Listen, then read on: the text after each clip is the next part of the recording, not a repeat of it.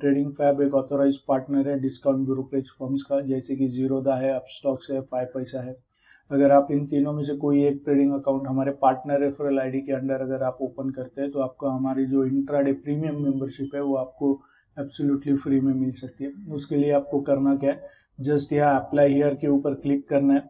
तो जैसे ये वेब पेज ओपन होगा तो आपके यहाँ पर डिटेल्स आपको एंटर करने हैं। तो ऑनलाइन प्रोसेस शुरू हो जाएगी। एक दिन में अकाउंट ओपन हो सकता है अगर आपके डॉक्यूमेंट्स रेडी है तो। अकाउंट ओपन होने के बाद आपका जो क्लाइंट आईडी है, वो आपको हमें इस नंबर पे कॉल करके कंफर्म करना है, ताकि हम आपको इंट्राडे प्रीमियम मेंबरशिप में ऐड कर सकें। तो ये एक छोटा इंट्रो था ट्रेडिंग फैप के बारे में। Good morning, friends. Welcome once again to Nifty analysis from tradingfab.in.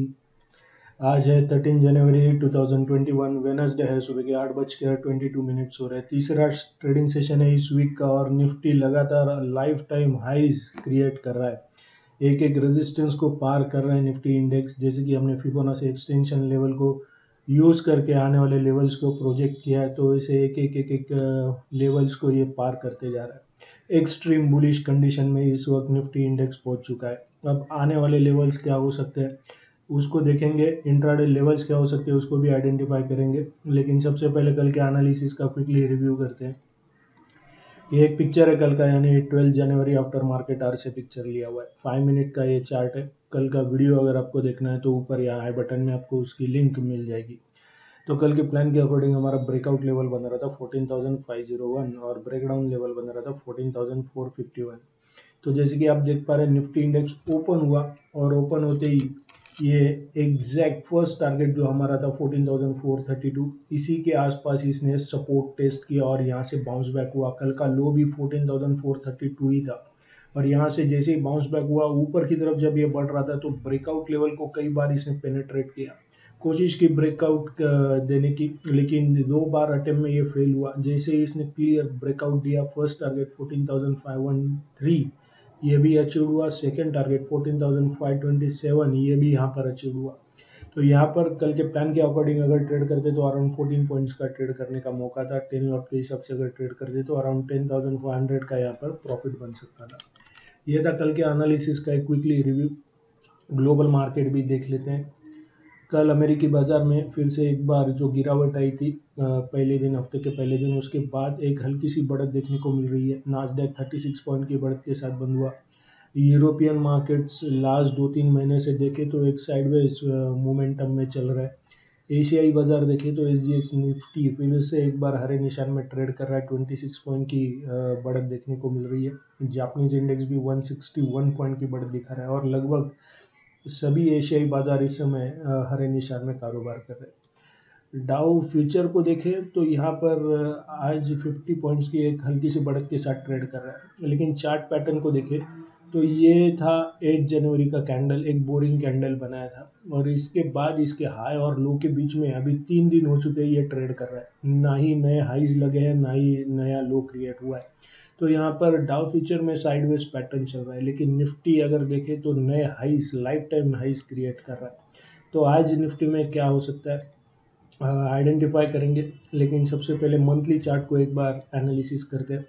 ये मंथली चार्ट है। ये था मार्च का कैंडल मार्च महीने का कैंडल हम मंथली चार्ट देख रहे हैं इस समय, यानी एक महीने का ये कैंडल है ओपन हाई लो और क्लोज तो इसके बाद, मार्च के बाद जो रिकवरी आई है, वो अब तक रुकने का नाम नहीं ले रही है। और ये रिकवरी एक बुलिश एक बुल रन में यहाँ पर कन्वर्ट हो चुकी है। तो यहाँ पर जो लास्ट स्विंग हाई लो मिल रहा था एक 20 ई को क्रॉस करने के बाद एक सडन फॉल आया था लेकिन 20 ई का सपोर्ट लेके ये बाउंस बैक हुआ। तो उसके बाद इसने 50 परसेंट का लेवल अचीव किया उसके बाद 76.4 परसेंट का लेवल एक एक लेवल इसने अचीव किया। अभी मंथली चार्ट के हिसाब से अगर फिबोनाची एक्सटेंशन को फॉलो करें तो 100 परसेंट का लेवल ऑलमोस्ट 15,073 के पास आ रहा है।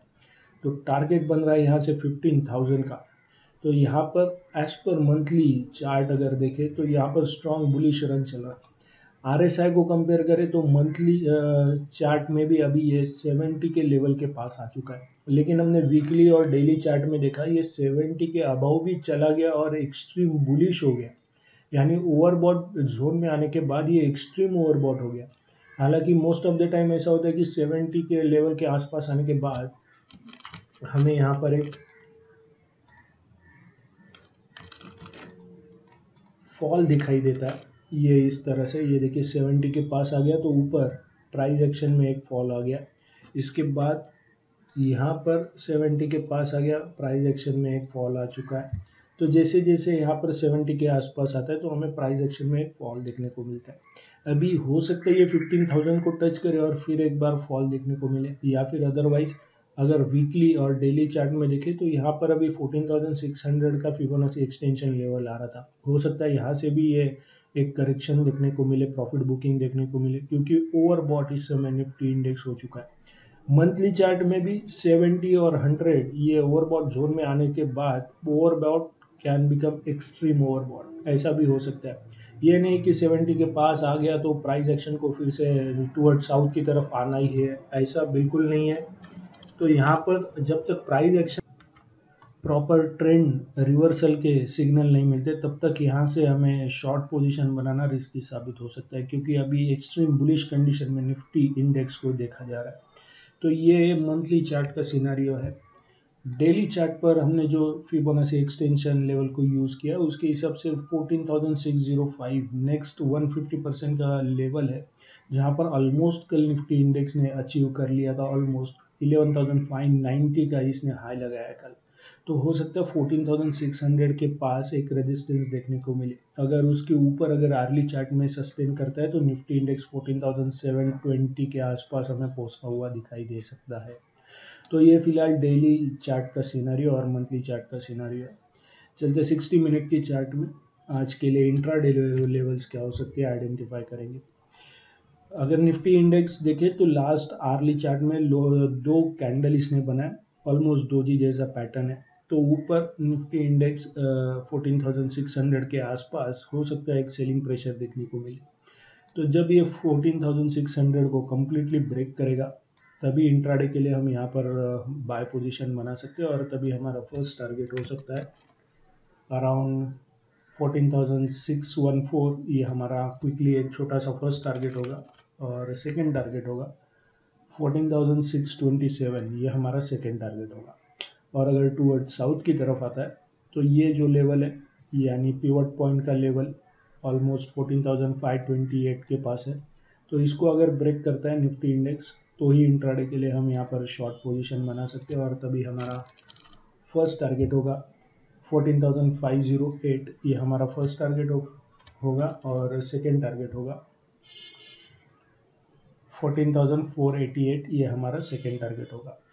तो ये है आज के लिए निफ्टी के इंट्राडे लेवल्स अगर आपको ये वीडियो एनालिसिस अच्छा लगा हो तो लाइक शेयर कमेंट ज़रूर करें और सब्सक्राइब करना ना भूल। So thank you very much and happy trading